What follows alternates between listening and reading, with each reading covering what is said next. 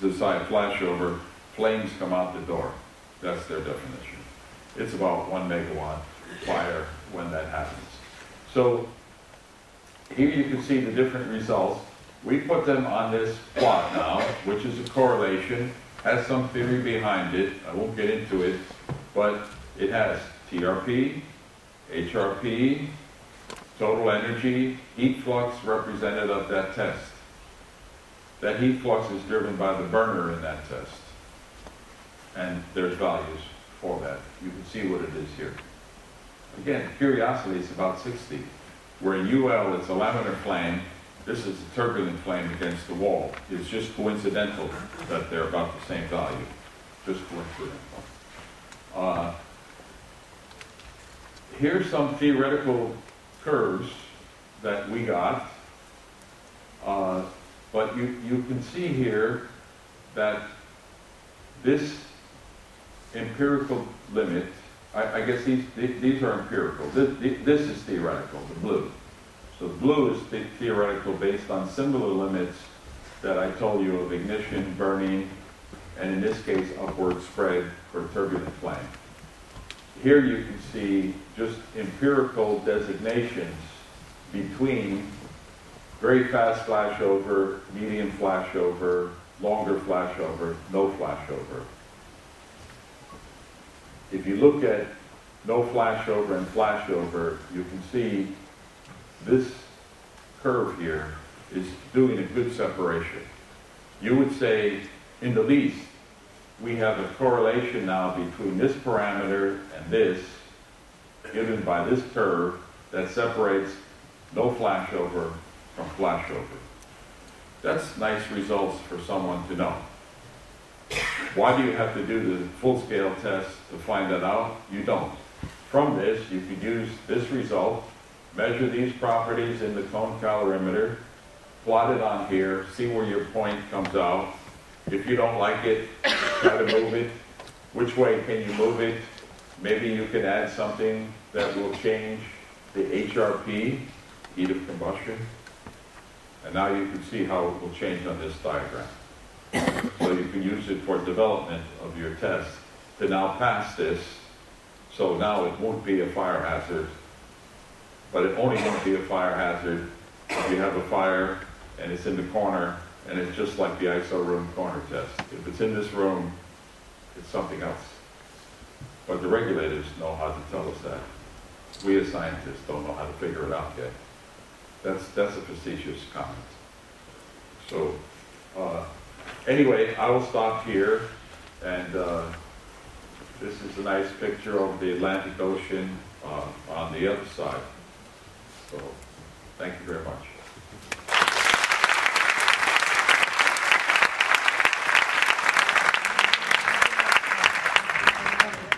Are there questions or no time? Or?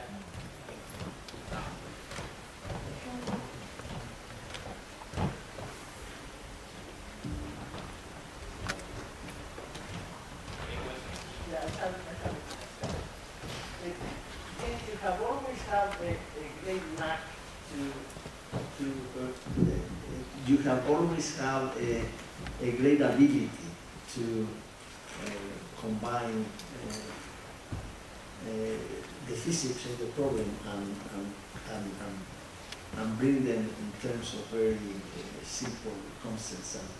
And, uh, one concern that I have is that we are having more and more complex materials, like composites with layers of of, of, of plastics and fibers. And, uh, and I wonder uh, how these, uh, these four parameters that, uh, that I agree they, are, they, they have a lot of the physics of the problem. How, how can we start incorporating those parameters in those complex materials? Okay. If you saw the materials that represent by these points, they are complicated materials. They are wallpaper on gypsum board. Uh, there's a paper on polyurethane. There's three layers of polycarbonate separated by air. There's massive timber. Uh, they're complicated products, materials, because they're all products. used in this study. And all of that data taken by Scott Dillon uh, were representative of those materials. So they're complex materials giving you an average, you know, uh, representation of their properties. Now, if you try to do that by, uh, by DSC, you, you won't get all the pieces. If you try to do that by a fitting process, I, I don't know what you'll get because you have to now model the char and, the- and, and delamination and other things. But when you do it from the cone, you, you're, you're getting something global. And I say it's, it's good enough. If somebody wants to do it better, fine. But don't ignore, you know, the past. Particularly if you're FM. And Archie Tewarson worked his whole life to get this data. That, so, Thank you.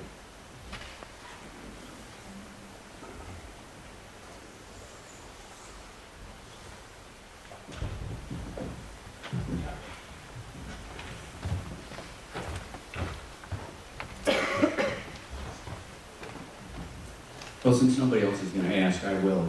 Um, do you think we're going the wrong way then with uh, where we're heading with our model? Should we be looking at simpler? Well, look, I have nothing against CFD modeling. In fact, I'm going to give Jennifer Wen's talk later. But uh, I think the fire community, uh, particularly young people getting into it, are enthralled by computer models like that. Instead of going back to the physics and trying to model things uh, specifically, uh, either by a model that targets that phenomena or by experimental methods that allow you to correlate the data. Correlations that have been developed in fire used to be called fire modeling. Now computer modeling is called fire modeling, but they're all fire modeling. And the correlations to me are much more valuable because I challenge a computer model to go back and reproduce the correlation. And when that's done, it doesn't work.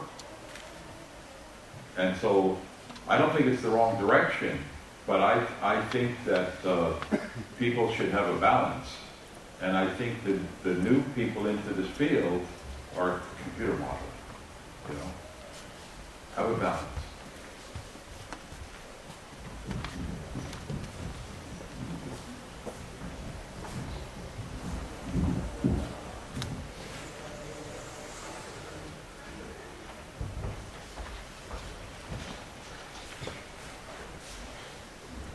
I think, that your last line about having a balance is exactly the right point. I think that uh, computer models are, uh, I think they're brilliant, it's a brilliant development. Uh, you said, uh, almost ironically, that FM doesn't trust FDS. I think that's really not the case. I think the fact is that it is an evolving science, and I think it's more about proper usage of the models and actually uh, having, uh, you know, the models being right or wrong. I think they're developing tools, let's put it that I think You're, that, you're always such a diplomat. Thank you very much, Jim, but I'm not going to be so diplomatic right now. Oh, okay. Uh, because uh, uh, I think that, that in, in the balance is the key, and I think that uh, one of the uh, concerns that I have when I see you presenting this work is that all of a sudden you have synthesized and presented the entire fire problem, solved on the basis of a number of correlations that uh, you forget that what is behind those correlations requires an incredibly deep understanding of the physics of the problem. And you presented and simplified in a way such that it seems almost as a trivial output No. of a very rapid thought. No. And, uh, and I really think that it is in the limitations of this type of analysis where the key lies. And I think if we forget that all these things have boundaries and limitations, then we're going to use this as bad as we use the fire models, and the balance is going to be completely lost. Absolutely right. Because, you know, uh, fire safety uh, falls on new technology. Old things don't capture the new technology. So you invent some new products or something that do something different than the models that you conceive when you got these correlations, and totally won't fit. So, yes, absolutely.